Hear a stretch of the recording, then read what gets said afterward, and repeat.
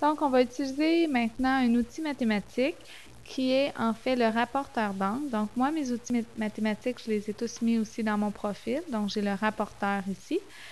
Euh, j'ai toujours, lorsque je clique dessus, un menu contextuel. Donc, je vais le fermer. Je vais vous montrer les différents endroits où je peux aussi trouver mon rapporteur.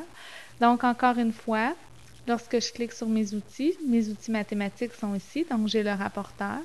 Et finalement, dans mes outils ici, j'ai mes outils mathématiques représentés par une calculatrice et mon rapporteur. Donc, je clique dessus. Mon menu contextuel me permet d'avoir soit un rapporteur d'angle qui est complet ou un rapporteur d'angle qui est demi. Donc, un demi-rapporteur. Donc, rapporteur complet aujourd'hui que je vais utiliser.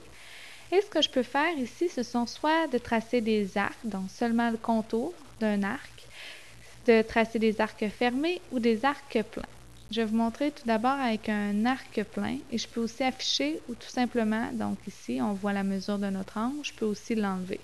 Je vais tracer ici des arcs pleins. Je vais me chercher une couleur, donc du bleu, avec mon stylo. Et je vais venir tracer, par exemple, ici, 90 degrés. Donc, j'ai 90 degrés que je viens de tracer. Ensuite, je vais aller chercher ma couleur mauve et je vais tracer un autre 90 degrés.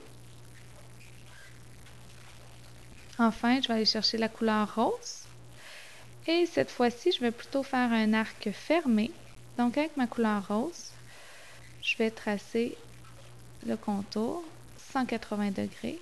Et je vais venir aussi tracer le contour de mon autre 180 degrés.